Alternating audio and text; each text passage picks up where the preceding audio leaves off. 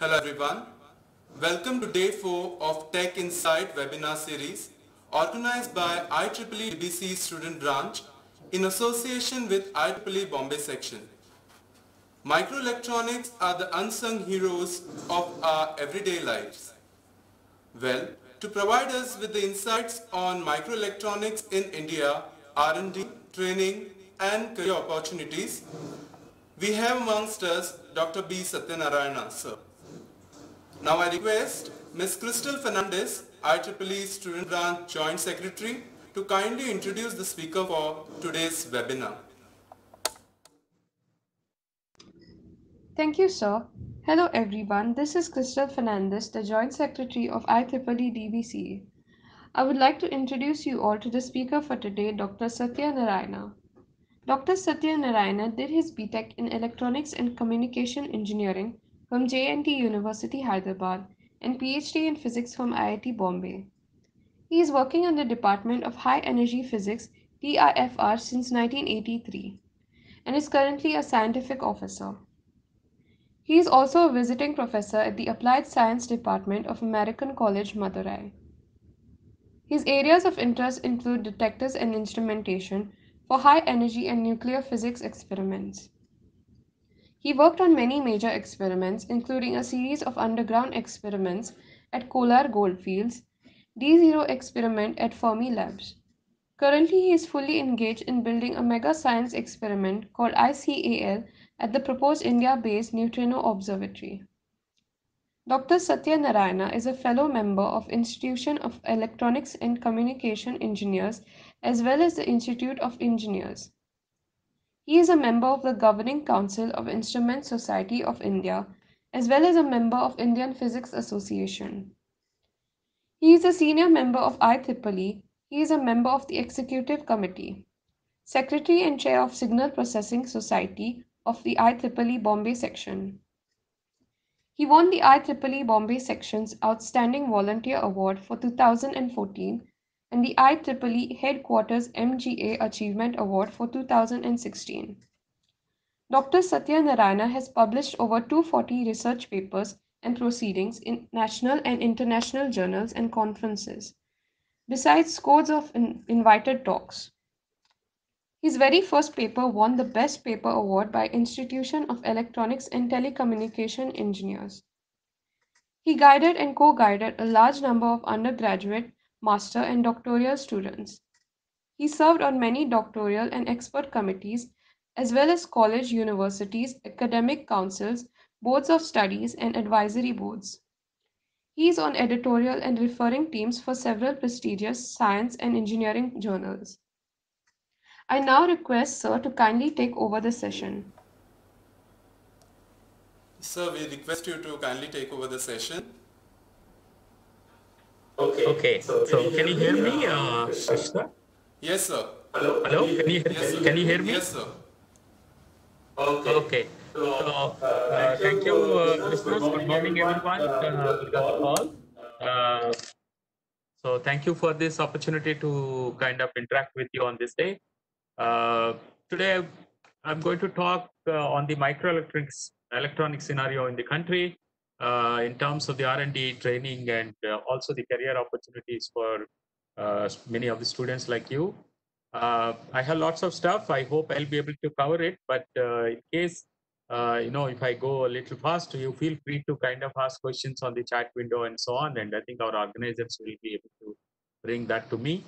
When we talk about microelectronics, of course, we are talking about study and manufacturing of very, very tiny, small electronic circuits or components, which are usually made from semiconductor materials, right? And many components of this, even normal electronic components that we see in the market, are also available in the this particular microelectronic equivalent. Now, uh, when we do, when we uh, buy normal components and want to connect them, of course, we use regular wires or you know clutch boards or whatever. But here, in order to connect up such tiny components, sometimes there are special techniques like wire bonding and so on and so forth. Now, as these microelectronics technologies improve, of course, the scale of microelectron components continue to reduce, decrease. We'll see about this a little later.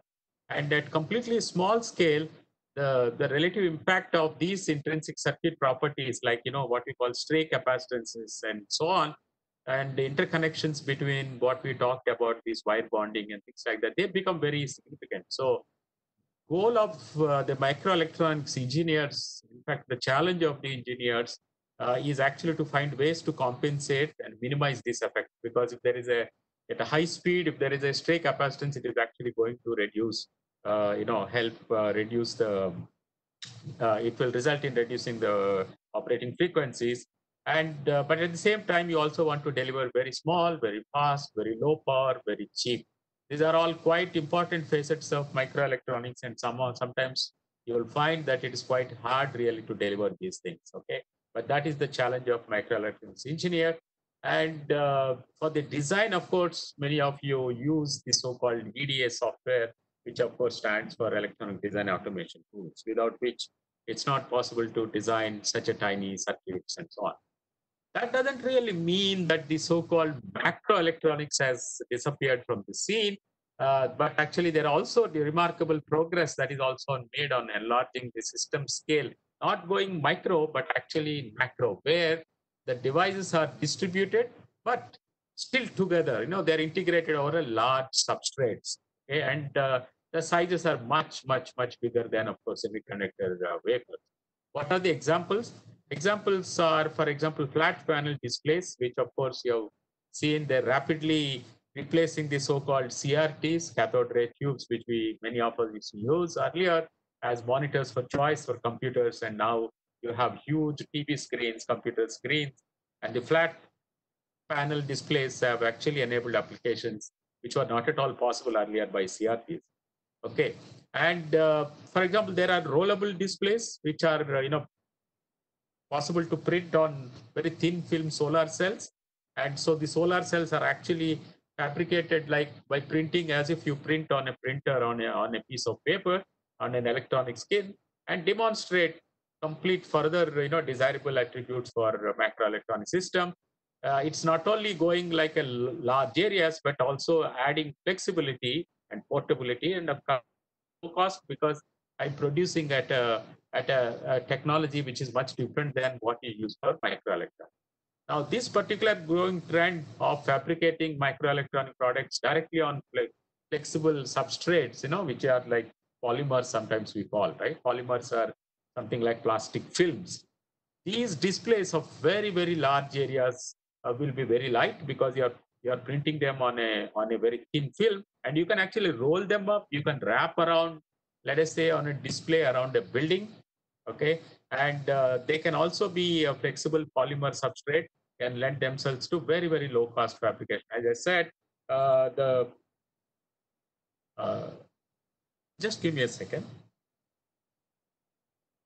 Hello నేను టాక్లో ఉన్నాను just వస్తాను just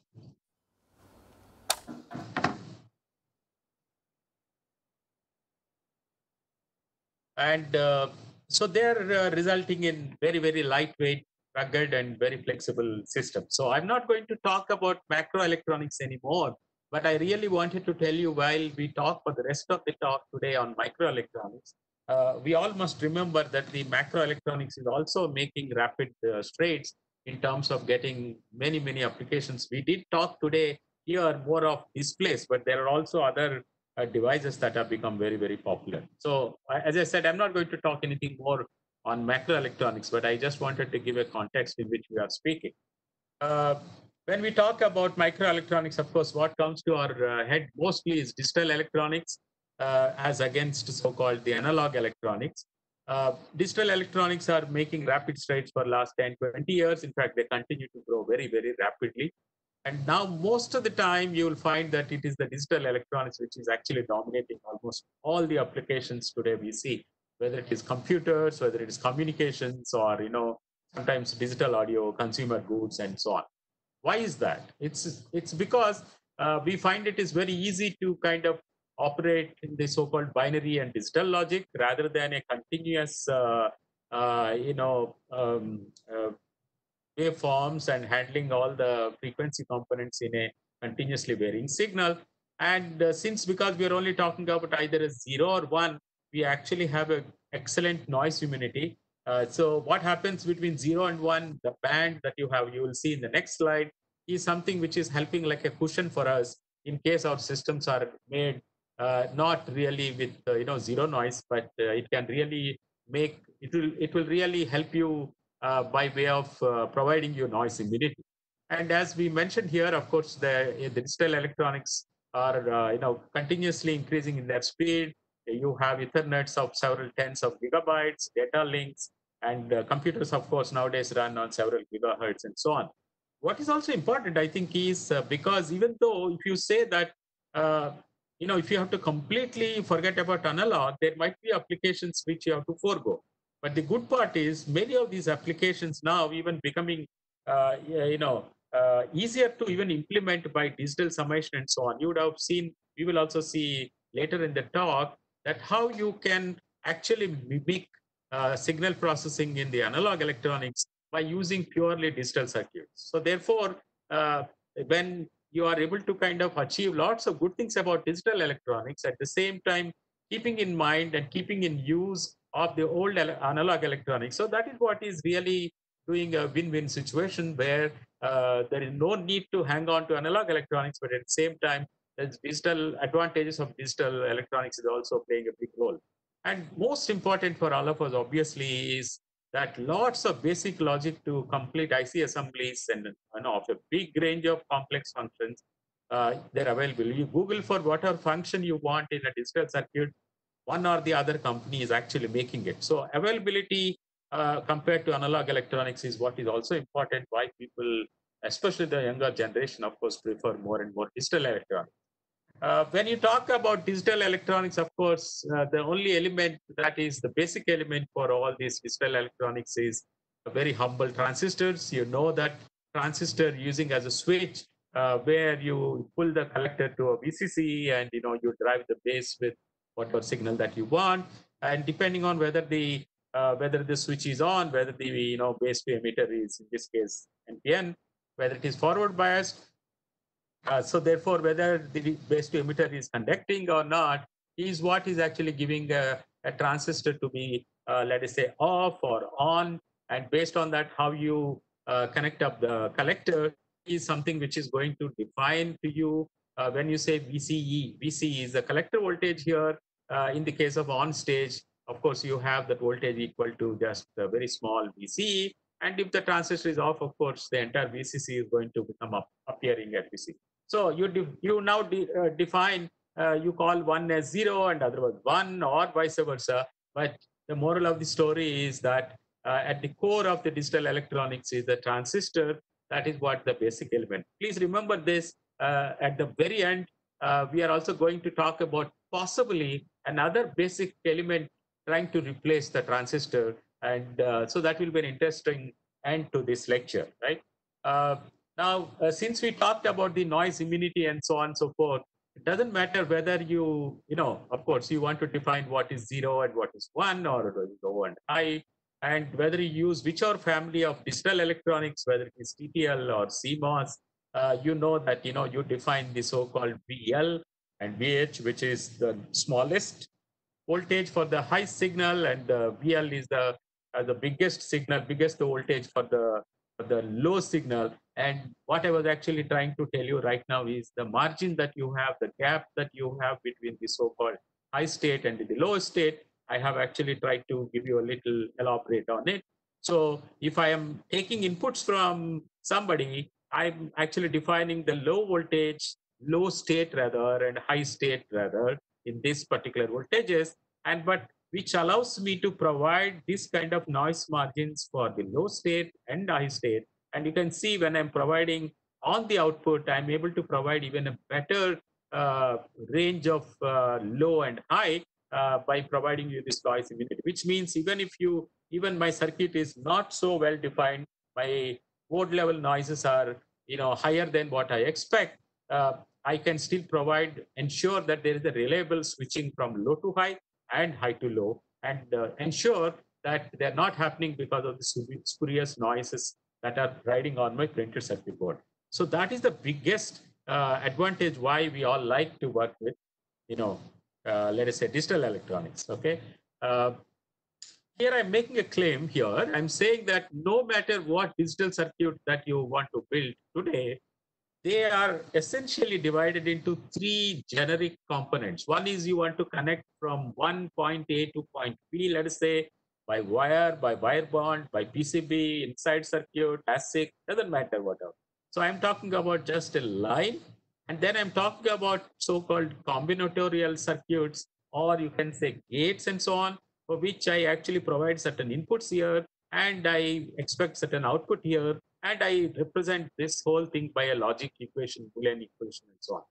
I have the third kind of device, which where I actually provide certain input, and the this device is going to store that input, going to store that input, even if I remove the uh, input here, and then I can decide that state whether I want to bring it uh, on the output and when should I bring it. Similarly, if I want to latch or if I want to register it, I can decide at what time I should be able to push this input to into the device. So this is normally called clock. At that clock sign, nine, the input goes here. And this is usually called output enable, where I, I kind of allow the, the stored data to come out, you know, like memory devices, for example, they're registers, right? So please remember this. So sometimes you have to keep asking throughout my lecture, is it true that all the electronics, digital electronics is only really made of these three elements? Okay, if you find that is not the case, please ask me a question maybe at the end of the lecture. You're saying that, no, no, it doesn't look like true that uh, all the digital electronics is only made of these three elements, right? Sometimes this is called combinatorial circuits. Sometimes these are called sequential circuits, okay? That you must have kind of heard about. Now, uh, when you talk about digital electronics, of course, there are varieties of digital electronics from the way they are manufactured and supplied. Uh, some of them, uh, you know, the most common ones, I'm sure you identify what these are very well. You must have used in your college. They are, of course, manufactured by many IC industries, Motorola, Texas Instruments, and sold in, you know, cages, right? I mean, they're very cheap because they're a large number. They're produced in a very large number and they're produced by multi, multiple manufacturers. Uh, so sometimes they're called industry standard integrated circuits. You can call them as ICICs, which means they're freely available. They're, you can go to a small electronic shop and say, please give me 7400. The person will be able to give because they're very cheap and they're easily available. The other variety of uh, circuits or integrated circuits that are manufactured are what is called application specific integrated circuits. So as the name says, uh, these chips are actually designed for a very, very specific use, maybe for you or for me or for an industry. It's not uh, like a general purpose devices like the way you saw 7.4 series or op amps or whatever. Okay, so obviously uh, you design such circuits only if uh, you will not be able to, if you are not able to get uh, the required ICs or required function block in the market because there is no point in making this if they are freely available, right? So you'll only make customized chips only if they are not available in the market for the function that you want. Uh, we'll also see a little bit later uh, what are the difficulties in fabricating an ASIC and so on and so forth. So something between these two, you actually have what is called application specific standard products. Okay, application specific uh, standard products. Sometimes they're called ASSP, uh, which means that these are the ICs which are between the industry standard and, and let us say an ASIC. So which means this is, of course, it implements a specific function. So which means that I, I this is something like an ASIC, but it's also true that it's not that made only by one or two people, but they are made by many, many, many companies. May not be as many as you know, industry specific integrated ICs. For example, these are like class of chips. Suppose somebody is making controller chips for a PC. Let us say somebody is making a microprocessor, somebody making chips for modem, somebody is making chips for video or audio or encoders or decoders. Now, these are not exactly ASICs because uh, all the people who build PCs will use the chip. So it is not very, very specific, but at the same time, it is not like, you know, uh, it is very general purpose. So if you are making a modem device, if you are making, fabricating a, a hub, uh, an internet hub and so on, you might want to use a chip made by Qualcomm. Similarly, another company may be making, but these are not uh, you know, these are specific to a particular application, just like an ASIC, but they are sold, these kind of ICs are sold by many different vendors, which is typical of standard parts. So you can very well imagine there is one end of ASIC, there is other end of industrial grade uh, computer chips. There is something in between uh, these two, right? So that is something very important to understand. Now, if you go back to uh, really understand the history of integrated circuits, of course, you have to go back to uh, many, many years, maybe 60 years back. Um, there, as we already mentioned, of course, ICs are mostly made of large number of transistors, which are fabricated in a single chip. Uh, now, depending on at what uh, year you're born, probably uh, there, there are different class of ICs. Uh, when I was born, probably we had about 100 transistors in a chip. And uh, most of you, when you are born, probably there are 1 billion transistors uh, in a chip. So it depends on that, you know, small scale integration, medium scale, large scale, very large scale, ultra large scale, and so on and so forth. This is how the integrated chips have kind of uh, progressed over a period of time. And what is the main important point is that we are very, you know, we always have a hunger for packing more and more uh, you know transistors into smaller and smaller uh, area right? Now so therefore when you talk about vlsi electronics the main objective that is coming up is a i want to increase the circuit speed. The speed of the ic should be very high. I want to reduce the power that is consumed to be as low as possible. I also want to make chip maybe in few millimeters square and so on. Now you will soon very quickly realize that you know increasing speed reducing power reducing area etc these are like you know in a way uh, what you call uh, contradicting to each other and there is a challenge in doing all this. So obviously there should be some trade-off uh, between them but that is exactly the challenge of many of you who really want to take up let us say careers in microelectronics and VLSI okay that is why we are going to kind of end up uh, talking towards the end about this so as I mentioned earlier, when you use this uh, simple 7-4 series, and maybe you did an experiment in the first or second year of your uh, college, you would have found out, okay, took a breadboard and you know pushed these chips there and took some wires which are available in the lab and connected and made the circuit that you wanted. You wanted to implement some simple LED driver or you know some truth tables wanted to implement whatever. So you took these black uh, you know colored uh, wires and connected input of this to going to coming from an output of another and so on and so forth. And uh, you ensure that everything is proper and so on. Of course this is perfectly fine. And when you switch on the circuit it works fine. There is no issue about it. What is the problem? See the problem is that if you make um, you know such kind of thing it is going to be very con- time consuming because you have to obviously connect uh, wire by wire and it's also very risky if you want to develop you know, if you want to develop some simple circuits like this, obviously I don't find problem. But if you are to develop very, very big circuits, obviously are going to kind of have problem. And uh, if I want to make some correction or I want to make development, it becomes quite, quite, quite tough. Imagine you uh, you use such kind of circuitry uh, to build a cell phone, for example. You'll realize how tough it is and how big the cell phone would be when you make them.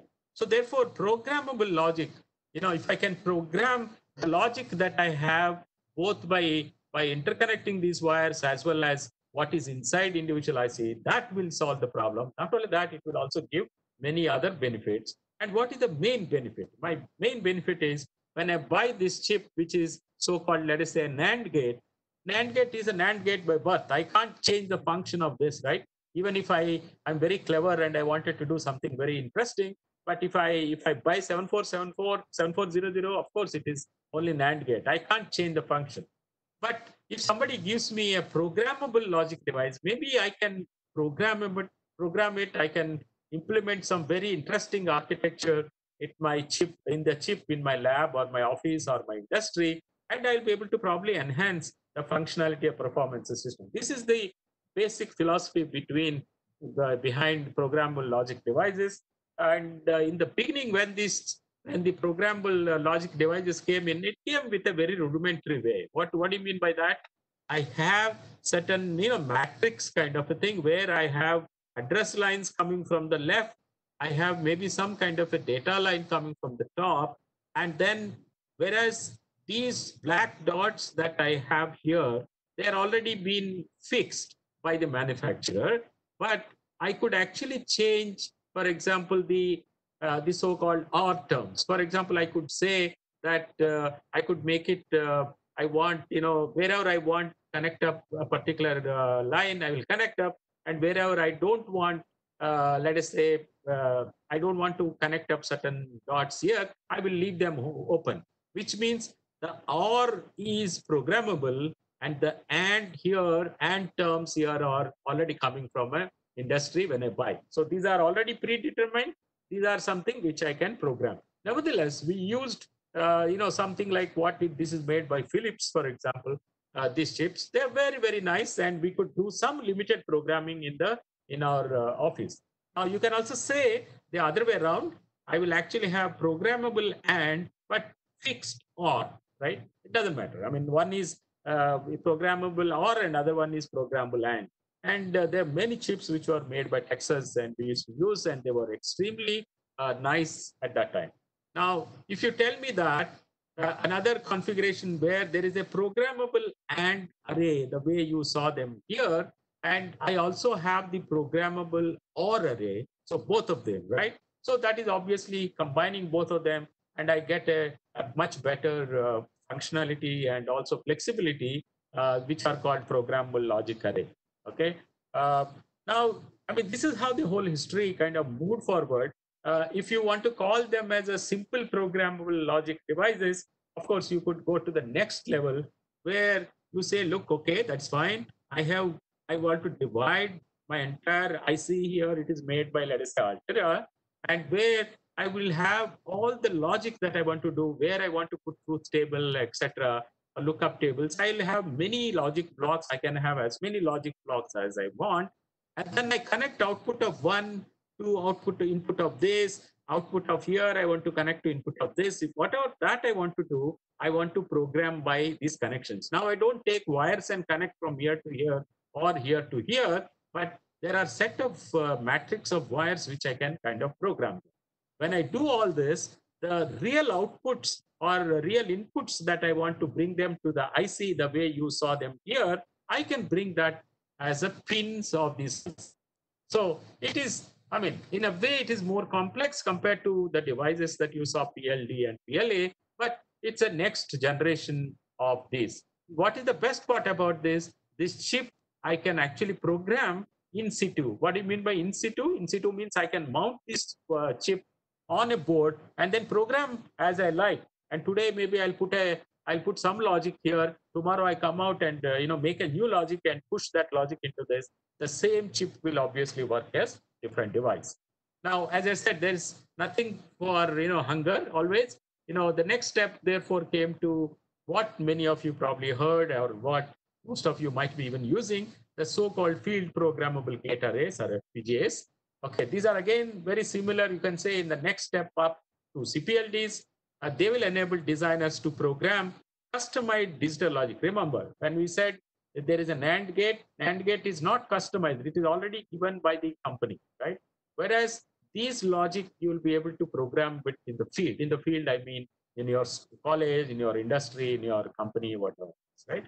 Now, as I said, that as FPGAs has evolved from uh, useful but humble interface devices. Um, but the function of the, such kind of devices can be defined after manufacturing. So it is like a canvas a white canvas somebody give you now you design and draw the things that you kind of want so the fpgas will allow you to program real you know nice nice very nice product functions features and maybe use it to adopt new standards reconfigure the hardware maybe for specific applications even after the product is already been installed in the field right what does it mean i can design a, let us say an internet hub or maybe some device I can sell it. Maybe it is sitting in your house.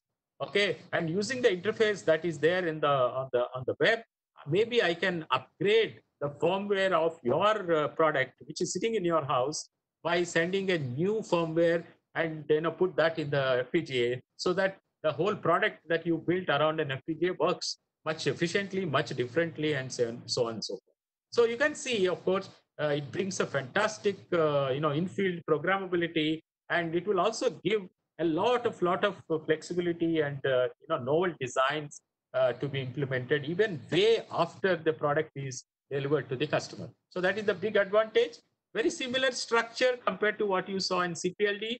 Here also you see logic blocks, lots of lots of them, and then there are routing matrix through which you interconnect logic from one logic block to another logic block. And ultimately the outputs that you want to bring to pins where you want to actually solder on the board are also kind of done.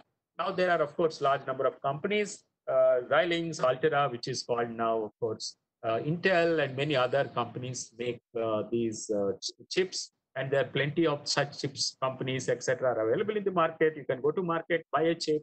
There are tools available for you to kind of design and develop systems very, very quickly using field programmable arrays yeah so this is the structure that i already kind of told you what i really want to tell you is many of the modern fpga allow you uh, this so-called particular fabric the way it looks like a matrix of elements here all these programmable logic elements here and programmable interconnect so you program the logic inside and you also program the interconnection here and such several millions of logic blocks several millions of such logic blocks are available in each each FPGA into which you can put in lots and lots and lots of digital circuits. So that is what actually makes a very, very fine grained uh, matrix of logic blocks here. So sometimes I don't know if you have heard about this word called lookup table. Lookup table is something where if this is my chip here and I, I have a provision where I connect certain inputs. In this case, let us say I only have four inputs. I mean, of course, that's just for example. Now, using these four uh, inputs, whatever logic that I want to connect up, for example, I want to uh, make a circuit y equal to a and b, and let us say OR of c or whatever, right? Now, I can always implement that by using a truth table where ABC are given here, Y is given here, and this is called truth table. This is like a truth table. And that entire truth table, I can put it inside this logic unit. And when I provide various ABCD inputs, I get the output the way I like. I can also provide a clock. You remember I told you for a register, sometimes you want to use a clock. I also mentioned to you, maybe I want to use enable to get the output from here and so on. Maybe I can put a multiple.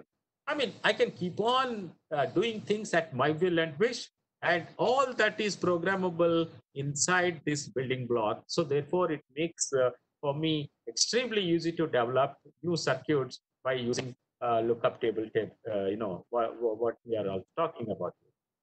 Uh, but there's something very nice about uh, the field programmable gate arrays. Are I can put not just the basic digital logic, but I can actually put so-called processors. What are processors? They're microprocessors, microcontroller, DSPs, CPU, GPUs, all these, I can just take the entire core that is provided. I can actually dump the entire thing inside an FPGA. This is fantastic because uh, typically microprocessors, microcontrollers come with some certain speeds which are decided by the manufacturer of the microcontroller.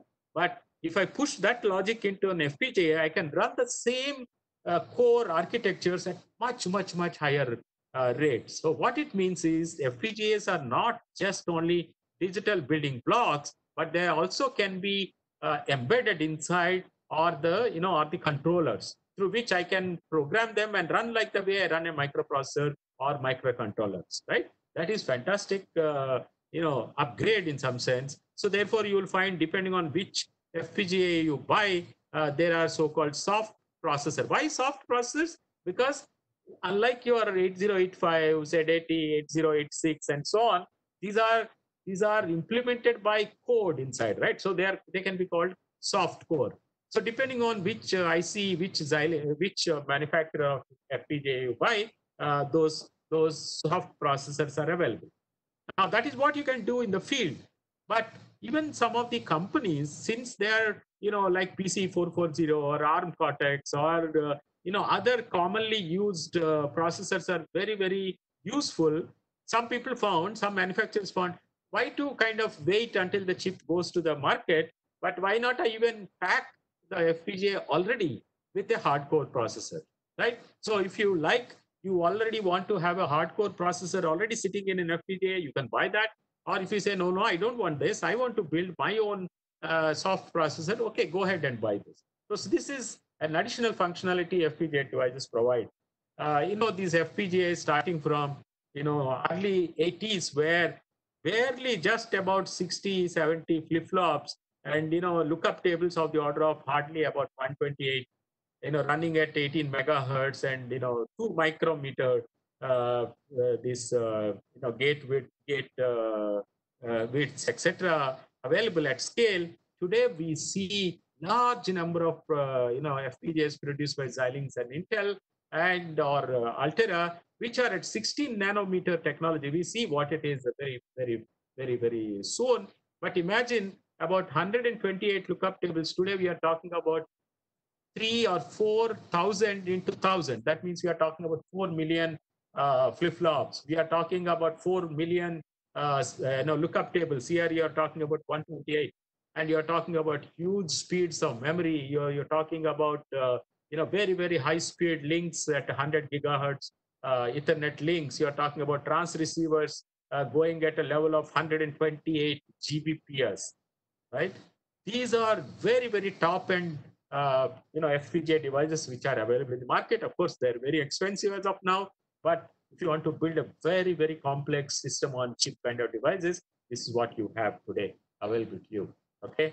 Uh, uh, I just now mentioned here a word called FinFET. Some of you must have heard about it. Don't read this uh, big slide, but I just wanted to tell you, FinFET is a is a kind of configuration where the MOSFET, which we all know about it, uh, you know, which has a source, gate, and drain. If I can build uh, on a substrate where gate is actually placed uh, across this channel, maybe all around this channel, either three time, three surfaces or four surfaces. So I'm actually forming, uh, I'm wrapping, you can say, the, the channel between source and drain using the gate, which is shown in red color here.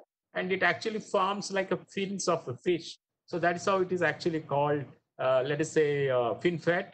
And um, these are, of course, very, very nice because they significantly make the devices extremely fast switching between source and drain, and they also increase the higher, you know, very, very high current density. Today, you have FinFET technologies, uh, which I mentioned to you here, 16 nanometer feature size. And, uh, you know, here, of course, one is talking about is Omega make uh, FinFETs, about 25 nanometer size, operating at about 0.7 volts. And what is the kind of speeds that I'm getting? Input to output delay is, you know, is a half a nanosecond level. You know, it's about 400 picoseconds level. That is the kind of uh, you know technologies that we are talking about, which are available today in the in the in the FinFET uh, technologies. Okay, and all the modern uh, FPGAs are actually used uh, using this.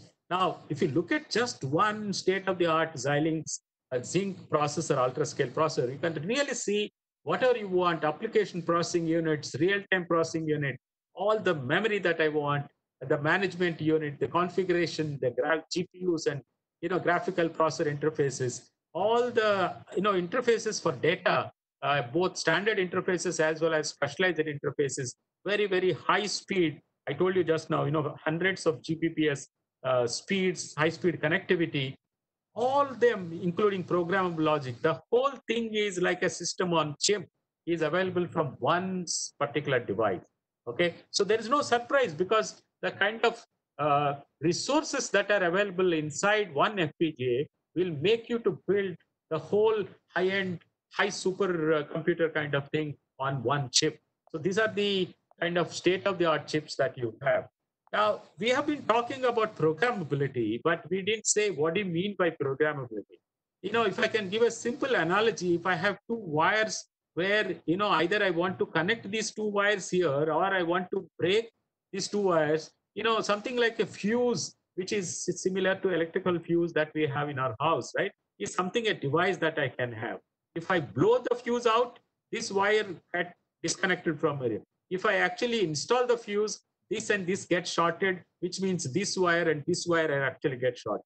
Now, this is so-called anti-fuse technology. You could also use the flash technology where the, the base of the gate of a, a MOS device where I can actually control and which is like, you know, a, a electrically programmable read-only memory. All the drains, all the drains are, all the sources are connected, but I, I decide which source, which source should get connected to which source based on whether I make uh, a, a, a MOS device on or off by this. This is something called flash device, which is actually not volatile, which means even if I switch off power, I can still maintain the status. Of course, this is uh, also not volatile because if I blow the fuse, it will remain blown. Or if I install fuse, it remain installed.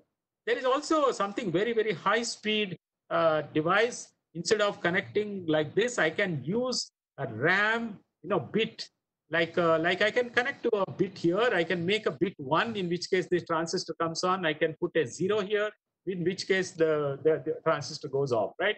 So I can connect uh, the matrix by using, let us say, static RAM uh, to make or break. You remember we talked about logic cells, which are here, and we said the routing matrix are here, and routing matrices are placed using SRAM devices, which will be extremely fast okay? But the problem is you know volatile. When i switch out the power of course the the uh, the uh, the connection goes off right? But i can reprogram. I can simply uh, put some data in the ram that is connecting here and the chip becomes a new chip right? So that is these are so-called inter interconnect uh, switches. Based on these technologies many of the man major manufacturers whether you call it xilinx or intel uh, as i said this was altera earlier Microsemi, which was earlier called Actel or Lattice or whatever. And you can see that different uh, manufacturers use different techniques for you know fusing or uh, for programmability. Doesn't matter. I mean, it's up to you to choose which particular device you would like to use. And uh, some devices have a specific advantage compared to others. Some of them are so-called radiation sensitive, radiation hard rather, so good for probably space applications, something like this for applications in industry, both Xilinx and Intel, of course, uh, they are quite uh, suitable. We talked some time back about you know putting stuff inside an FPGA. Sometimes we call that as an intellectual property, right? Why? Because that can be something you can work on, and you can put that in your own FPGA fabric, and such a way that it can provide excellent functionality, right? So now, if you build one such a nice architecture, you can probably sell it actually you know trade it. You can uh, you know you can become an entrepreneur by actually selling the rights of such intellectual property which of course is owned by you and to maybe to other disco designers or maybe manufacturers of some of these uh, chips. And then uh, you know it will be great right? And uh, you can see you know there are there is no limit for uh, what can be an ip you can talk about memory dram controllers calculators high speed transceivers protocol gpus dsps I mean, you name it, right? And so it is all in the brain, in the head of a designer and uh, younger people when they can make such a you know outstanding contributions by producing really really novel architectures for many of the FPGA chips, and that really becomes uh, something you know uh, a, a, way by which you can actually have a very very high commercial values. And we talked about the hard IPs and soft IPs already. So one of the big opportunity for young people to work in the VLSI and FPGA areas is the IPR development. Okay, uh, you remember in the beginning we did talk about application-specific integrated IC. Uh, later on, we also started talking about FPGAs. A little bit of comparison between them. Uh, as we said, you know, uh, the ASICs. Uh, once you design everything for your application, it becomes fully custom built. Uh, so it becomes like a chip that you buy from market. But FPGA, we realized that you know you can program it. The density of what you can build here is a little lower. Complexity is limited. The speed is also much better in ASIC compared to here. Of course, FPGAs offer uh, flexibility, so they consume more power, but here it's less power. They occupy more space, less space, and so on and so forth. But remember one thing, it takes a lot of time for ASICs to be built because it's very complicated to design and get them fabricated by foundries. And FPGAs are something which you can buy from market and you know they are easily available to you and you can program them, program them. So you can develop them very fast and here it will be little you know takes more time. So if you want to build some systems in small number, I think it is great if you use a system using FPGAs. But if you want to build in you know thousands and millions of units, then you know building your own ASIC and fabricating them, even though it cost uh, initially for uh, designing, but per chip it will cost much less. So depending on what is your application, either you'll go with FPGA or ASIC. Okay, and once you actually have FPGAs, when you want to program them, you, you use what is called hardware description language. Unlike your, you know, Fortran or C or Pascal or whatever, these languages are actually not talking to computer, but they're actually talking to, uh, you know, hardware. So that's why they're called HDLs.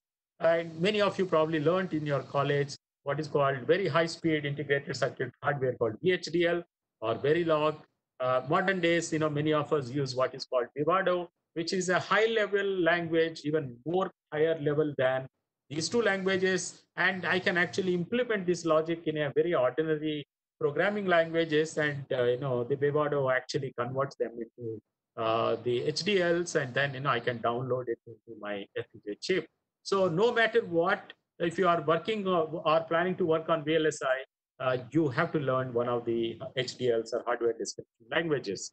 Okay, uh, the generic cycle, generic sequence when you want to design or develop a, let us say, an ASIC chip, you know, is uh, something very common. So you actually start with an idea and uh, list down all the specifications and start from design. You want to design the overall architecture then you go to register level transfer logic, which are sometimes called RTL. And after that, you want to ensure that this logic is exactly like what you are aiming for your uh, you know uh, logic. Otherwise, if you produce a chip which is uh, based on a wrong uh, logic, then obviously it will be waste of money and time. So you verify using the tools. So you put together now all these building blocks together, which is called synthesis, and then go to a foundry uh, and then say, this is my logic, this is my RTL code. Okay, I've finished all the validation, synthesis, etc. Please go and manufacture a chip for me. And you know, the company will give you, fabricate the chip. And you know, that is something what you can call that application specific integrated circuit. But as I said, sometimes it happens, maybe the first version that you used, you bought or you manufactured, it may not be serving your purpose probably. Maybe you have to make some revisions before it becomes available for you uh, for the purpose that you are kind of saying. Now, when you when you when you talk about that, that saying that you know like uh, what is that I'm trying to uh, I'm trying to kind of make uh, such a such a device. Uh, then the question comes is how how these uh, one second I'm actually trying to run a, a video for you, but okay. So uh, since this is this is the process that I kind of mentioned to you, uh, I also wanted to tell you how such a device gets fabricated in the market, right? So when you say this is so-called single crystal, which is usually silicon, uh, that is what is grown, and then it is sliced into the wafers, right? We all call silicon wafers.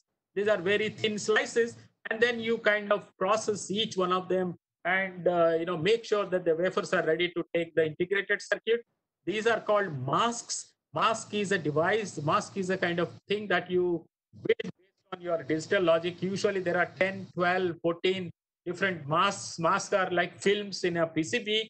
And then using one by one, using a technique called optical lithography, then you start depositing the circuits or you know build the circuits that you want. Remember, no matter how many billions of transistors that you have on on on a wafer, you really literally have to build one transistor at a time, right? One transistor at a time. You have to build, you have to etch, you have to fill, you have to pack. All these are done by what I call, you know, very, very high precision, fine, uh, you know, lasers nowadays. That's why this whole process is called optical lithography.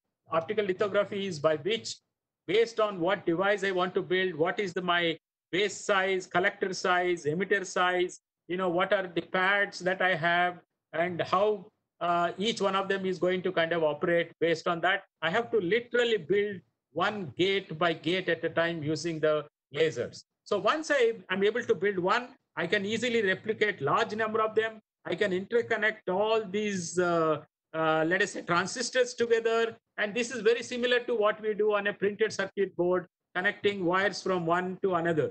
And when I build the entire uh, wafer, Okay, and you can see that each one of this rectangle here is one chip. So I do cut it like the way I cut like a pizza, and uh, you know what is called a dicing. So each one of them is actually for me is a chip. and I package it uh, into an integrated circuit and then supply to you where you can actually make a printed circuit board. Remember, making one such chip uh, in a factory takes months together, starting from making a single crystal to you know coming and delivering one integrated IC for you, right? So that is the journey of an integrated circuit.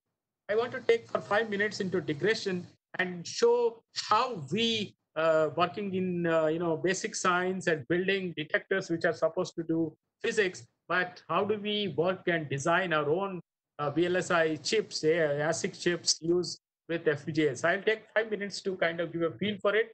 Uh, these are some of the detectors. You don't have to know what they are. These are actually meant for doing some basic physics. But what is important for you, of course, these are very gigantic, very, very big detectors. You know, they're almost five-storied building height, and uh, each detector weighs about 50,000 tons. But for you and me, what is important is from such a detector, what are the kind of electronic devices or functions that I need to record? What is the data that I need to record? You can see on the left side, I have listed certain functional blocks. Some of them probably will make sense to you because you can read them. And this is what only when you record all this data from that detector that I shown, then we'll be able to do the physics that I want to do. Once I finalize this, I go and of course on a maybe on a blackboard, I'll try to see okay, what is my overall architecture of my electronics, and then I get down to kind of divide the entire electronics into top-down approach. This is my detector here, and I want to design some front end, let us say an amplifier and the comparators and so on. Maybe I'll plan some ASIC here. I want to do a lot of processing, digital processing here. Maybe I'll use a huge FPGA device. Maybe I make the entire thing into a circuit board, which also use some more ASICs. The data that is coming out, I'll put it on a network and maybe I will use some other system called trigger and so on. And I replicate this maybe 30,000 times, million times, because that my detector is very, very big. And I want to make electronics which can take, uh, you know, all this functionality. Of course, when I want to even design a simple amplifier, something similar to what you may be making in your uh, lab, I use with discrete components, right? But that you can see it is very big and it actually consumes a lot of power. And if I kind of mini make that as a minuscule by actually making very small resistors, very small capacitors, and put it inside a small PCB with a Ducken on the top and so on, this is what is called HMC. It's called hybrid microcircuit. This is much smaller than the board that you saw, but still it is, you know, it consumes a lot of power. What I really want to do is I want to design various components like, you know, this is transimpedance amplifier, differential amplifier, comparator, driver, multiplexer, and whatever, whatever. I want to design this circuit on paper, what I require for my experiment, and then go ahead and say, I want to build an application specific integrated circuit. I mean, what you see, there are four chips here, which are actually manufactured in using what is called a QFN package. And I can use those chips in my printed circuit board and then build very, very high speed circuitry. So these chips are not what you buy from market, but these are chips that you build based on your own logic here and then go to a foundry, maybe somewhere abroad, European foundry maybe, and get them built.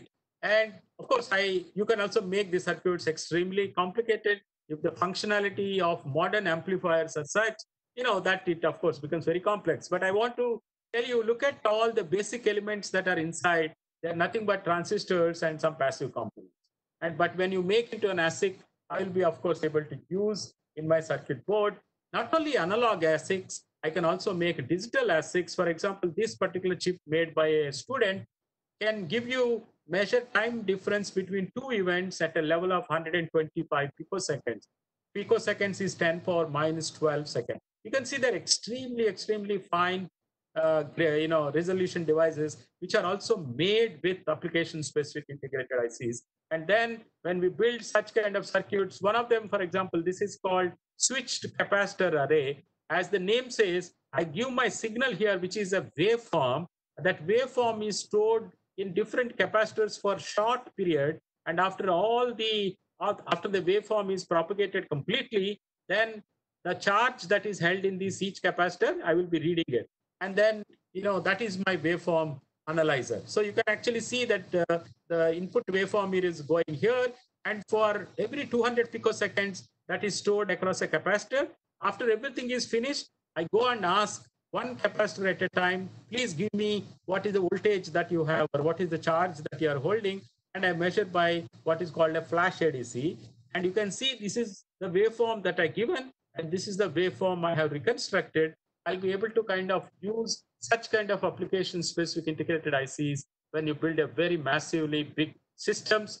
And so this is again what you call uh, switched capacitor array, but built by ourselves, not bought from market, uh, which I can use to sample at five or six giga samples per second. That means at every 200 picoseconds, one fourth of a nanosecond, I can have a new sample and then you know I can use it. I can also connect those kind of chips using an FPGA device and make an entire data acquisition system very, very compact and very fast. So I have the waveform digitizer here, and then I connect them by using, uh, for example, uh, uh, an FPGA-based system, and I store the data in the static RAM and so on. This is how we build our electronics using ASICs and FPGAs. And when you talk about an FPGA, you can of course put the whole sort of logic inside one FPGA.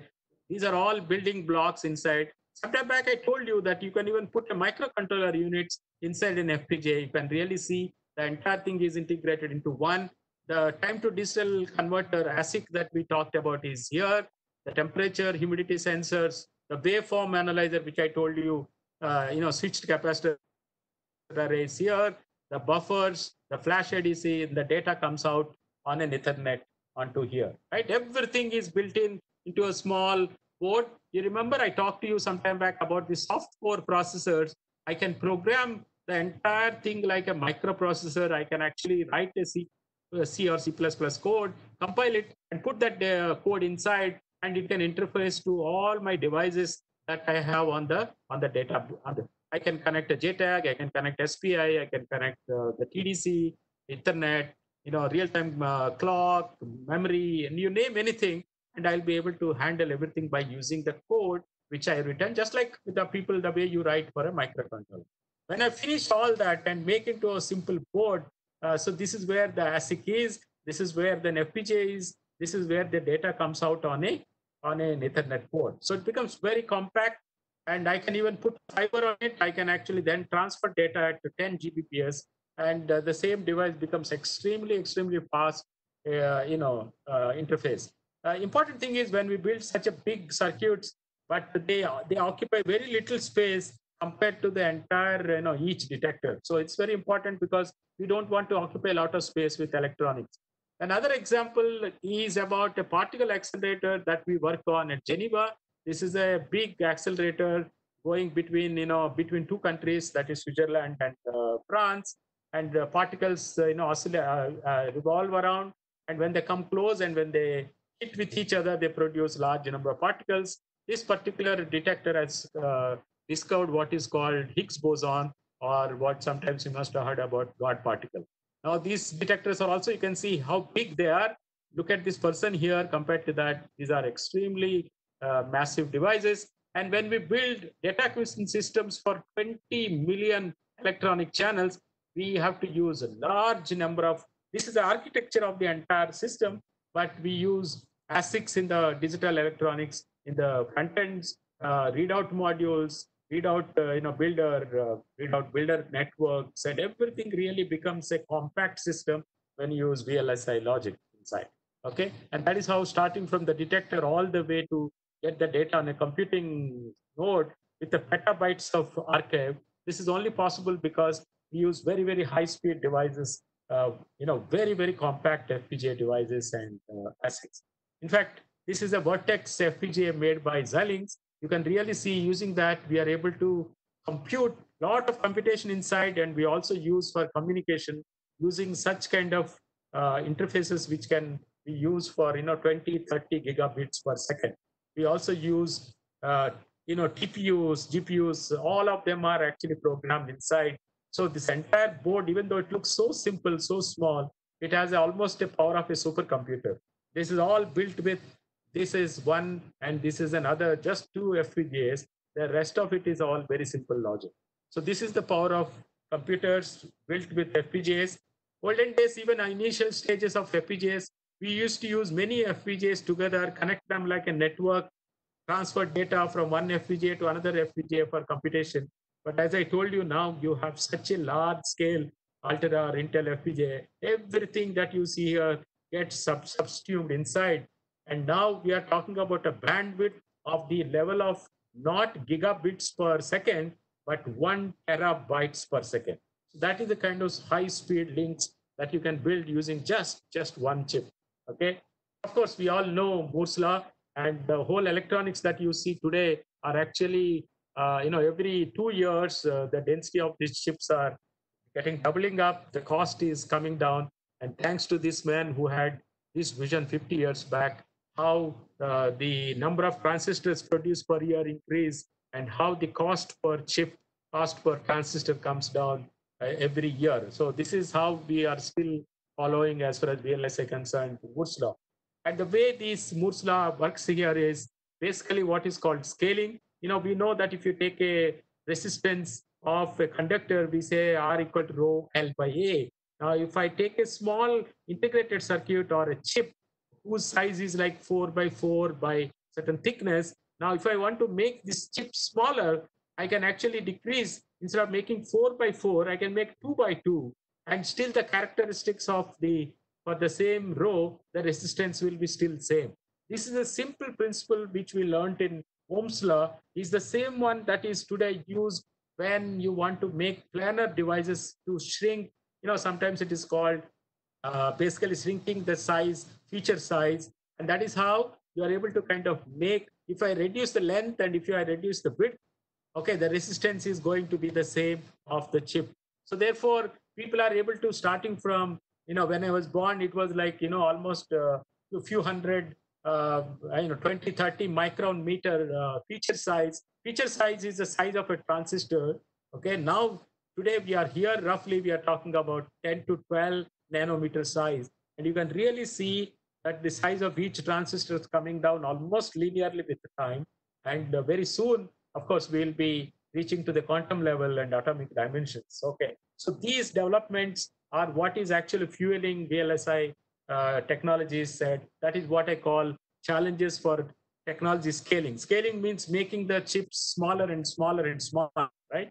Okay, so the main problem with this, what is really happening is one of the big challenges when you reduce the size, when you increase the speed of the device, the power consumption of the chips becomes extremely important. So lowering power consumption is important not only for lengthening the battery life because these are all operated with battery. Obviously, if I consume less power, then I'll be able to run this circuit for long period. But if I use less power, the circuit also becomes very, very reliable. So therefore, the power consumption is a dramatic problem nowadays. There are lots of VLSI engineers only work with power, low power devices, right? So low power design in terms of algorithms, architectures, circuits now received significant attention today. And these are the uh, important aspects. In fact, some of you may know, for example, Facebook, uh, the way they cool the servers uh, is a fantastic uh, technique by which you can work on the thermal management. Okay. Um, of course, VLSI circuits are used in many, many uh, uh, you know fields. You can see I have listed consumer electronics, wireless electronic device, medical electronics, automobile, aerospace, defense, you name it. They're all available today. And uh, there are lots and lots of opportunities, both in the industries based on function, sometimes, you know, product based company, you know, whether you are selling uh, which kind of product based on the VLSI circuit. After you build the product, of course, uh, service also becomes very, very important. So based on which kind of VLSI industry that you are interested in, there are many opportunities. One of them, of course, as we said, electronic design automation uh, uh, tools companies, which are like Synopsys, Cadence, Mentor, and Xilinx. There are ASIC design companies like Texas, Intel, Cisco, Xilinx. We saw that some of these. There are also FPGA design companies, which are again Xilinx, Altera, Intel, and things like that. And there are also foundries. You remember we talked about once you fabricate a design, you want to actually make that chip, right? There are very few famous big foundries in the world. Intel is one of them, STM. uh, in IBM, you know, it's TSMC, UMC, Texas Instruments, Samsung, etc. There are very few of them. Uh, but depending on what you really want to uh, you know, aim at in VLSI, there are so-called design engineers who actually work on the ASIC or front-end front-end designers, the main core designers. Or you can talk about the verification designers, which means engineers. After somebody designed this, uh, uh, the front end, somebody need to verify it. So verification engineers are as smart or as intelligent as design engineers. And then you want to actually now design using the EDA and CAD engineers, bringing that design into actual product, okay?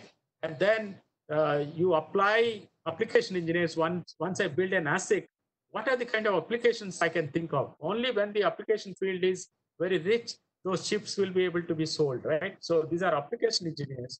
And finally, the technical support engineers. It is not something uh, to be looked down because in modern days, VLSI technical support engineers are also extremely well paid and uh, they're also much sought after. But once again, depending on what you want to become, obviously you also have to come with the big uh, skill sets. You know, if you want to work with front end design engineers, you have to have very, very proficient digital electron design, uh, good at the so-called RTL coding. You remember we talked about, you have to be really good at HDL, VHDL, Verilog systems, test, test bench writing using HDL, and you know, whole a lot of whole a lot of uh, uh, qualifications. For a CAD engineer, mostly people talk about high-level languages like C, C++, uh, idea about data structures, Java uh, debugger, and understanding about ASIC and FPGAs. Actual physical designer, as we said, we require uh, knowledge about the tools, uh, tools like Cadence, Magma, Synopsys, the backend tools that are required, and you know how you can design from digital circuit to transistor level design translation. Okay, the entire floor planning. You know, remember we saw when we saw that video how you interconnect various transistors into together, reducing the clock delays and so on. And uh, verification engineers, as I said, are as good as design engineers so that you need to understand. But one of the very, very uh, difficult technique to understand is what is called clock tree synthesis without the clocks being synthesized uh, from various real estate of the chip, the chips will not simply work at high frequencies. So expertise on CTS is a big, big uh, uh, qualification. Uh, so um, you might ask towards the end of my talk, so you might ask, say, you know, what we have to study or what you have to get trained in order to get a very nice jobs in VLSI. Of course, you have to have a very solid, good understanding as an undergraduate degree, preferably in electronics and communication or electronics or computer science engineering, or an MSc in electronics because I skipped one or two slides where a lot of foundry and lithography is being taught as a basic science, not so much as, as an engineering. So MSc electronics is also is extremely good uh, uh, qualification. Post graduation in a very reputed academic institution in VLSI design application simulations, HDLs, just now what I talked to you, applications, sensors, we skipped some part of it, but remember this is an important thing. Maybe we'll say a few words after this, silicon detector technology and so on. So having a very solid uh, post-graduation, I think makes uh, completely prepared for you, not just only undergraduation. But if you are seriously talking about taking this as a research or academic career, of course, you can't do without a PhD and if you do, of course, fantastic, you know, a good internship in one of the chip manufacturing companies or fabrication companies or so-called, you know, fabless companies or something that will add a good uh, weight for your uh, CV and industry. And it will also steepen your scope of expertise. And this will, of course, ensure your past and excellent career. You believe me, these days, uh, the VLSI engineers are really, really are paid uh, fantastic pay packages, provided, of course, you are completely, you know, provide, get your skill set that are required for here. Even in India, uh, there are quite a few laboratories under uh, government of India based. Okay, there are ISRO, of course, they have their own foundry at Semiconductor Complex Limited at Chandigarh. Some of the chips that they make are shown here. Uh, defense, uh, they have their own uh, stuff at in Hyderabad mostly called Anurag. it's a DRDO Department of Atomic Energy from where I come from, uh, there are also uh, fantastic, uh, what you call, opportunities uh, for chip uh, level design and fabrication, etc. Uh, in BRC and CMEMS. the Bharat Electronics in Bangalore also has many facilities for chips as well as detector manufacturing. ITI in Bangalore, ECIL in Hyderabad, and so on. these are government of India uh, companies, you can say institutions, which are also doing exceedingly well in this area. Some of them may not be as good as the top level companies in the world, but you know, if you want to get some opportunity within India, uh, these are one of the opportunities where you can try. Um, I also told you there are large number of multinational companies nowadays. They have their big presence in India. ST Microelectronics is one of them. Texas Instrument is one of the oldest companies which have actually had their design house in Bangalore, India. Synopsys, Cadence, Mentor, Xilinx, all of them have now what you call fabless chip makers. What do you mean? They have huge design houses in India uh, for fabricating, for uh, actually designing the chips. When the entire chip is ready, you, of course, the designs go to their facilities in US, Europe, Southeast Asian countries, where actual chips are produced. So this is great opportunity for people, even without crossing the shore of this country, you can be situated in this country, but still work on the top companies of the uh, of these VLSI companies in the in the country. So remember this, and you can Google them. Uh, you will find opportunities. I do have slides, but since I'm running out of time, I'm not showing them here. Um, one of the just a couple of things I just want to tell you before I close my talk. What are there for you? Two main areas apart from what I was telling about is so-called integrated data acquisition system, which means normally we are all used to doing, you know, sensors or transducers, and they are connected to electronics the way we implement them. But now what is coming out, since sensors are mostly made of silicon, of course, electronics is made of silicon, can I actually combine them, integrating them together, and then let us say, build them all together using silicon? So that means this silicon chip here is actually bonded uh, immediately to the silicon chip here, which is actually readout chip. So this is the sensor, which is actually producing signals. Uh, if an X-ray is passing through the signal, this is used in the medical imaging. The signal that is produced is amplified, you know, compared or counted, whatever. So this is also is made of silicon, and this is also is made of silicon. So I make a very, very low noise very low power and extremely compact, uh, you can say sensors plus electronics put together. This is now the new field that is coming up. And it is possible that some of you will be very much interested to get into such kind of, uh, you know, new fields of microelectronics. Okay. Another one I want to come to you, you this is the last slide in before I get into my conclusion. We all hear about, you know, so-called BJTs, which are so-called current controlled because I give a base current and I talk about collector current, right? This is transistor we call about. We also study what you call FETs, field effect transistors, where I apply a voltage. This is controlling this uh, device. And of course, I get the, the current, which is in terms of uh, what is coming from source to drain.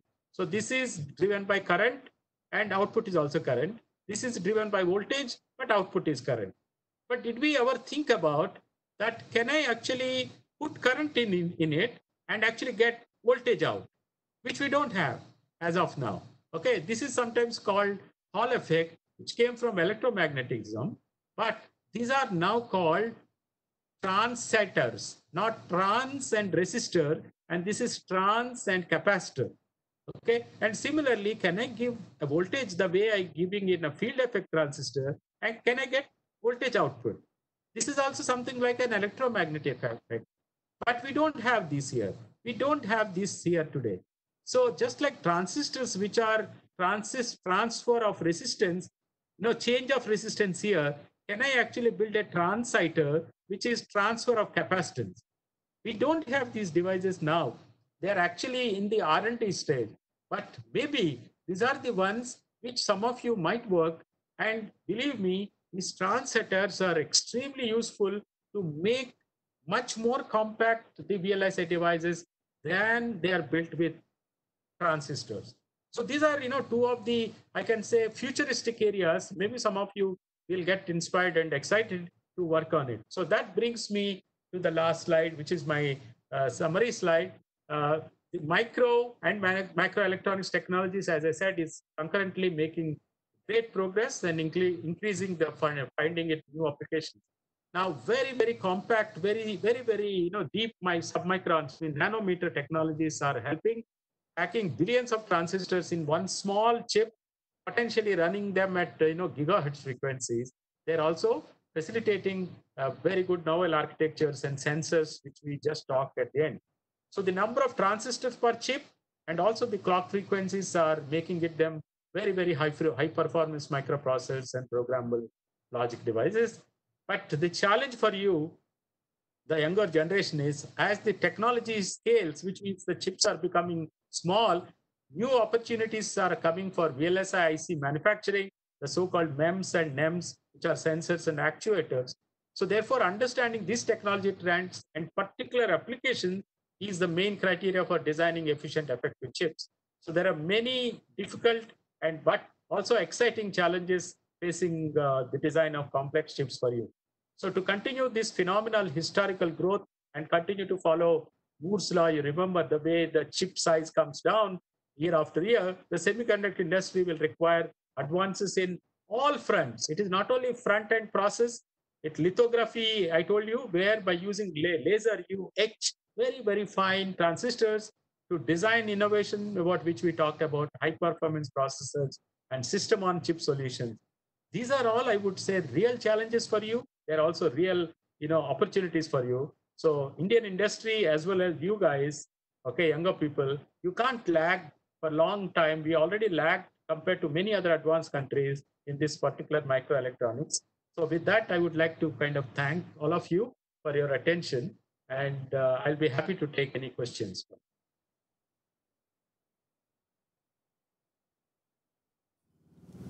Yeah, thank you, sir. Yes, yes, sir. Uh, it was really a nice session from your side. Now we'll uh, just have some quick uh, questions from the comment section which uh, participants have posted. Sure. Sure. So can you uh, switch back to your uh, webcam? Oh, okay. give me a second.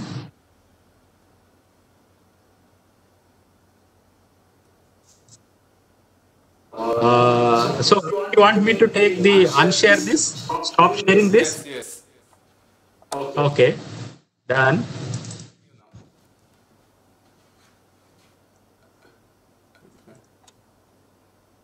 Uh, yeah. Okay, sir. Is that what you want or you want full screen? Yes, sir. Fine, sir. Okay. Okay, so uh, the first question is, in this current situation, what is the scope in this yeah. domain in India? Well, uh, uh, you saw that I have, uh, towards the end, I have shown uh, a few slides uh, to that effect. I was actually telling that um, there are many industries, including uh, some of them which are on the, even in the government sector, who are able to, uh, who are actually uh, manufacturing many of the VLSI chips may not be at a level, may not be at a feature level, feature size that are available in the state of the art, but uh, they also provide excellent uh, opportunities for early career in the country where, you know, if someone wants to kind of get trained in those technologies.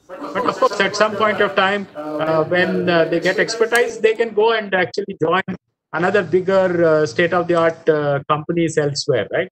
So that is something which are very much possible. There are also uh, government of India uh, companies or uh, you know institutions or uh, private sector where there are basically design houses. Design houses means they're using VLSI chips and producing, let us say, systems which are extremely compact and also very, very, very high speed systems. So there are uh, there are opportunities where which are applications of VLSI, FPGAs, and uh, you know uh, CPLDs, FPGAs, and ASICs. But there are also uh, let us say manufacturing houses where, uh, especially the chips in terms of ASICs or other you know sensors, MEMS, NEMS, and actuators, etc., are also getting made. So both these some of them I have shown in my presentation. Uh, but there are also MNCs which are also now have their big design houses, design offices in the country. I think that is the best opportunity uh, for young people to aspire to. But having said that, it is also important that they work on towards equipping themselves, uh, having a good CV, which means they should also equipping themselves with the skill sets that are required. Okay, sir. The next question, uh, is there any program or course so that we can learn about building ICs? Oh yeah, plenty. In fact, many manufacturing, uh, many, uh, you know, the chip manufacturers and also the design houses, which are I told you, Altera, or which is Intel, Xilinx, um, and also the foundries, many of them which I told you, like uh, you know SM Electronics, uh, and all these companies do offer, uh, in fact, very very uh, what you call very very intense, I would say, uh, specialized courses which are meant for let us say students or professionals who already have certain knowledge by way of passing through their undergraduations specializing them in the postgraduate uh, courses and professionals who are already joined some companies but would like to switch over to uh, designing the uh, let us high performance chips and so on. So all the all these uh, companies do offer uh, you know uh, courses for people to do kind of further study their you know knowledge in these areas both chip building as well as design. Okay, so the next question is, uh, if one wants to... By the way, there are also, there are also courses which are, uh, you know, so-called online. I mean, you can also attend some of them. There may not be face-to-face courses. A large number of them, they're also available. Some of them have to be paid, but uh, they're available online. Okay, sir. Uh, so yeah. next question is, if uh, one wants to pursue his or her career in this field, uh, sir, can you suggest how to go about? Well, I think again, I I did uh, uh, mention like point by point what are required in one of my slide towards the end.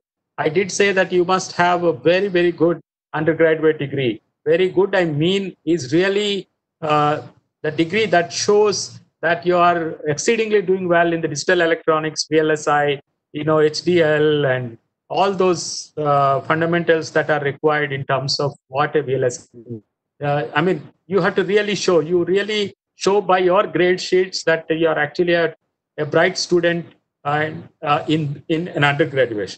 Okay.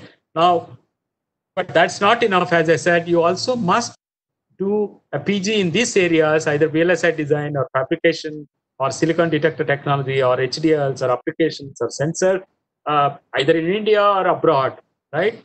And that's good enough if you really want to get on to doing a good job because your cv by the time hopefully you'll also have a couple of good internships in a reputed institutions or industries so that that will add that here is a good academic uh, career. At the same time you also have a good knowledge about because you have actually worked on reputed uh, institutions. Now if you want to really settle into a research or academic career in this area of course a phd is required.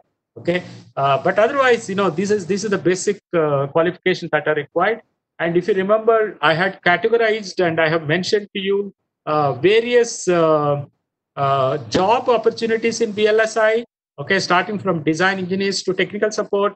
But i also given you for each of those opportunities what is the skill set what are the requirements what are the qualifications that one requires. So i mean you have to work to a plan. You cannot really uh, you know, barely pass your digital electronic circuits uh, course or VLSI course or, you know, barely have any knowledge about these things and you can't aspire to become, uh, you know, uh, take up a big job in VLSI. But having said that, it's also important that you must really have a goal towards working. It doesn't matter, even if your, for example, undergraduation is not so nice, but if you really equip later by a good skill set in one of those, okay, which will also put you on a on a fast track, right? Imagine, I mean, nobody will give you a million dollar uh, job without themselves getting satisfied that you are actually going to build, you know, bring billion dollars to them, right? So this is ultimately it comes to commerce. Yes, sir. The next question. What are the recent Yeah. trends in FPGA technology? Uh, recent boards, FPGA boards in use. Well, okay. Once again, uh, I did uh, kind of uh, went over and kind of, I hope I gave you uh, some feel for uh, what the uh, latest, you know, state of the art is in, in those areas. But I'm not sure, maybe you kind of missed some of them. As I said, both Xilinx and Altera, these are the two major companies and both of them are actually bringing uh, what you call families after families of uh, new classes of FPGA devices.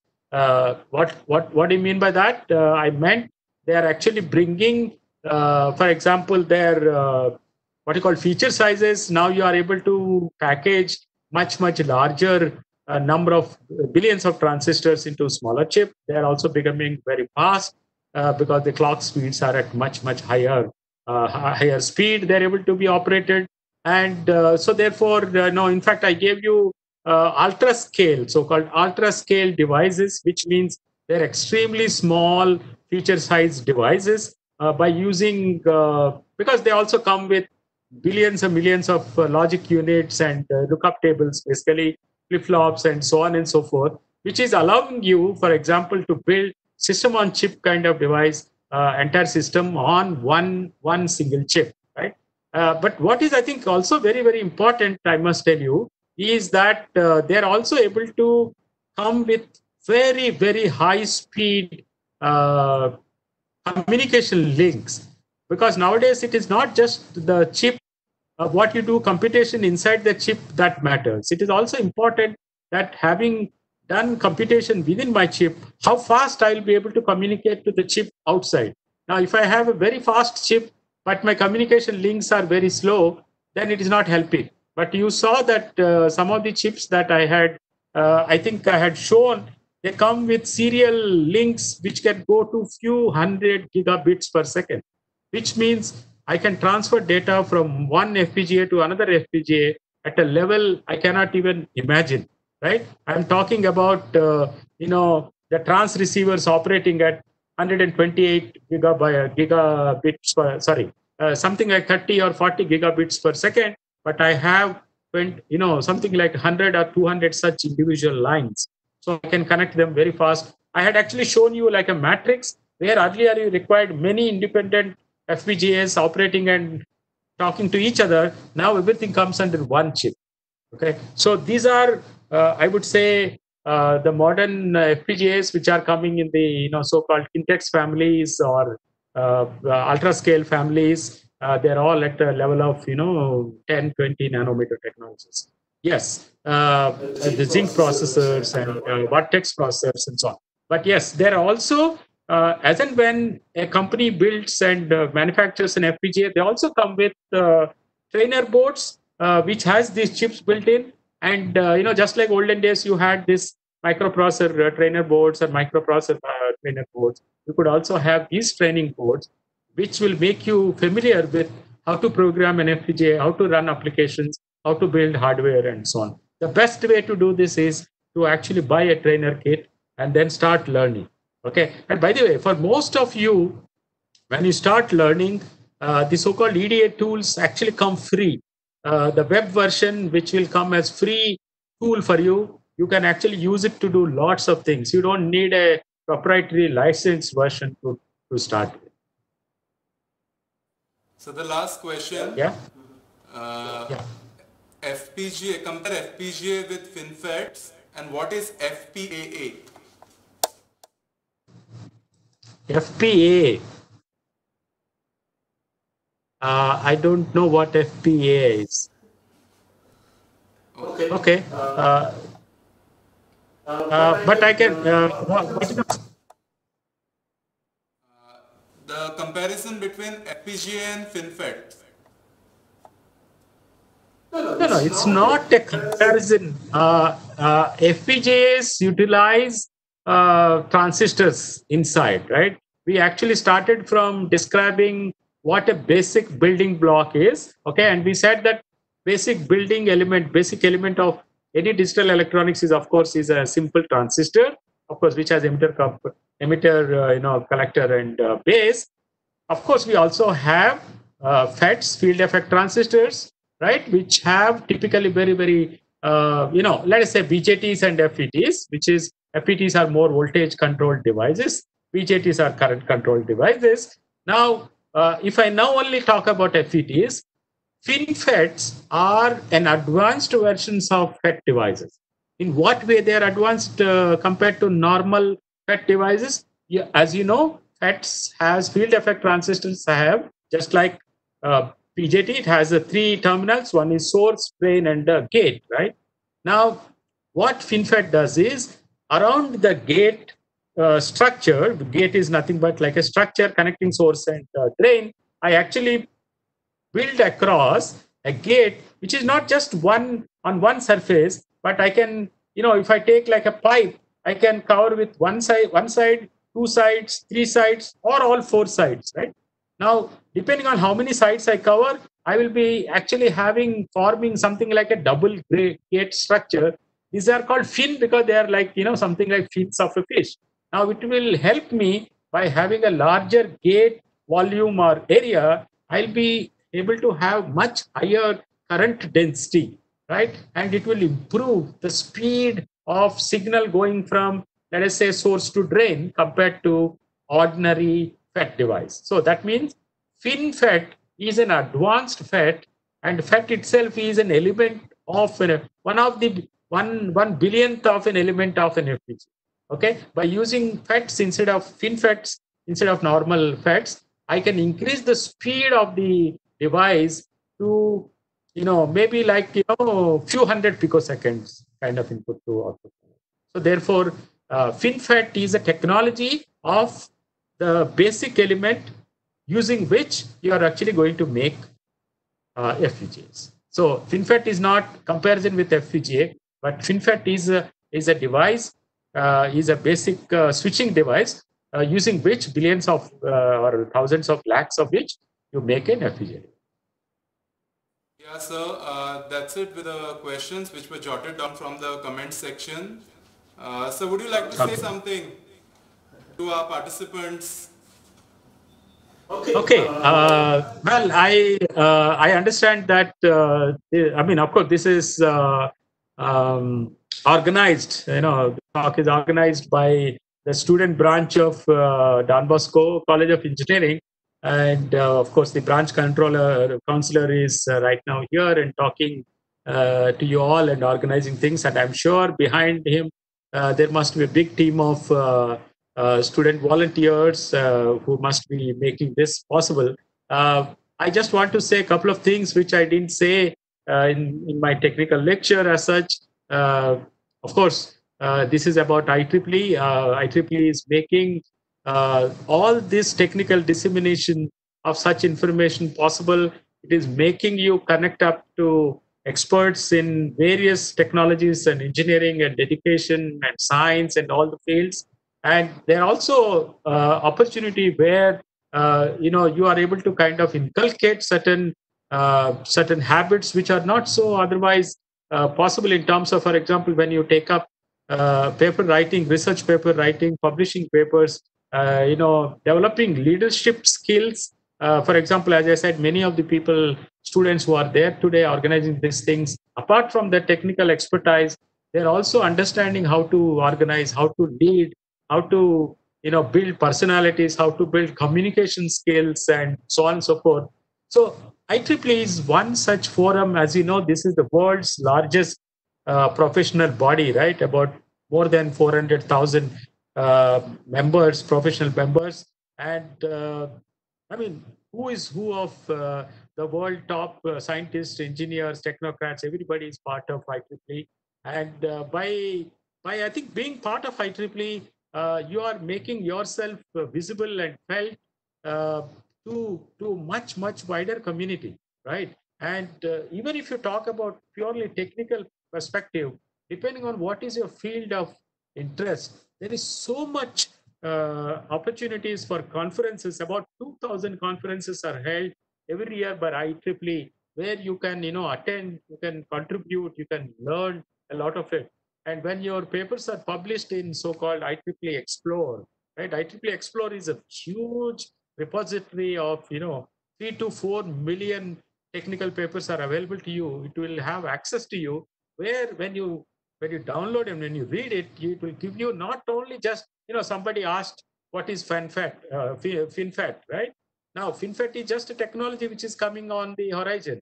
I talk to you integrated sensors and integrated, uh, you know, electronics. I talk to you about transistors instead of transistors. These are these are the you know the cutting edge fields and technologies that are coming up. Where do you get this from? You, if you read these papers coming out of IEEE uh, Xplore and IEEE conferences, you will be the first one to come abreast with what's happening today. You you will not be you know somebody who laid back and don't know what's happening in the field of technology to which you opted for.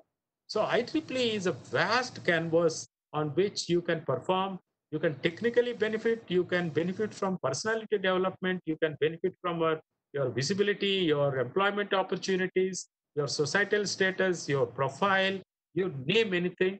And today, you know, all these students who are there, you see them starting with uh, the student volunteer or secretary or chair or whatever of your college, and you keep tracking them, they actually grow in the in a in another body called you know so-called Bombay section to which your college comes in. Maybe uh, let us say India Council to which all these sections come in, and uh, they fall into a region into which all these sections and countries fall in, and similarly go to headquarters. There's a huge growth, technical growth I'm talking about, uh, even for people who are aspiring to become technology leaders. And there is also what is called, you know, for example, just one small field, you know, what is called standards. Okay, every time you talk about, you know, you talk about IEEE standards. If you talk about Ethernet, there is what is called 802 dot, you know, standard. There are thousands of standards in communication, electronics, computers, and you name anything. These are all responsibly done, these are designed, these are managed, these are operated by IEEE body. I mean, imagine just one small aspect of it.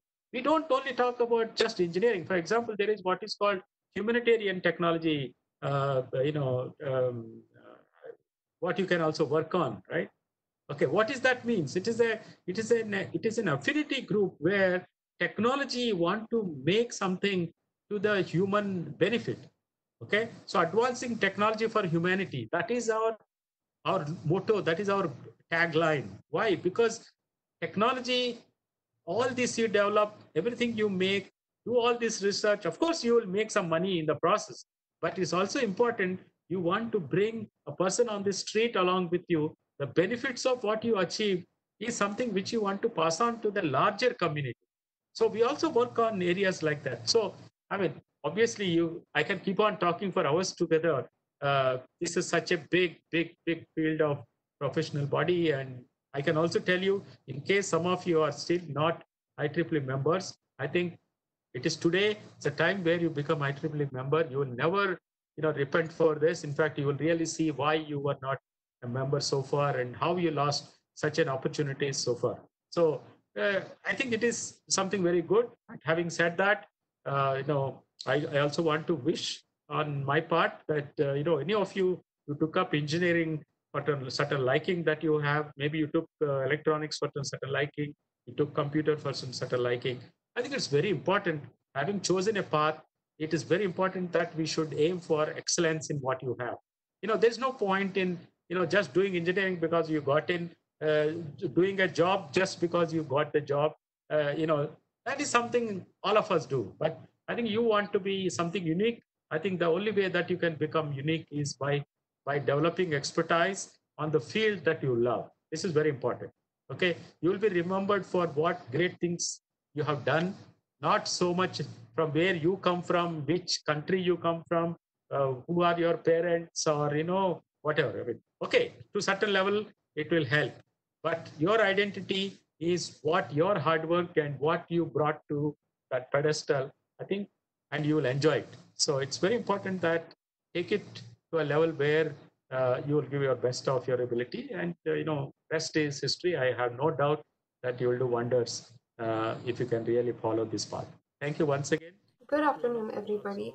Thanks On once again to uh, the DBCE and uh, Varsha ma'am and also to Professor Yeshdas and all other student branch uh, committee uh, for giving me this opportunity to interact with you. Thank you. Thanks a lot, sir. In fact, uh, we would like to thank uh, IEEE Bombay section for giving us such opportunity to have this webinar series. So thank you for that. also. Uh, sure, sure, sure. So I would now Okay. request our uh, IEEE Student Branch Joint Secretary to kindly give vote of thanks. Sure. Good afternoon, everybody. On behalf of the organizing team, I would like to thank our speaker for today, Dr. Satyanarayana, for carrying out this webinar in the most excellent manner. Thank you, sir, for accepting our invitation.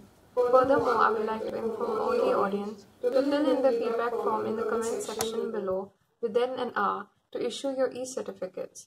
The link for the next webinar will be provided to you by tonight. Thank you and have a nice day.